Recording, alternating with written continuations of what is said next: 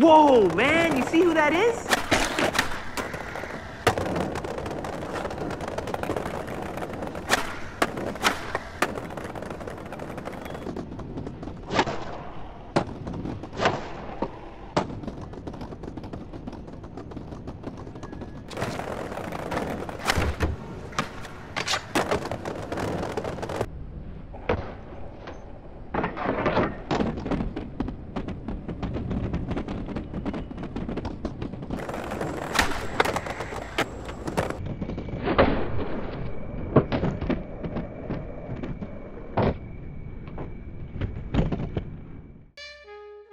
My man is getting tech.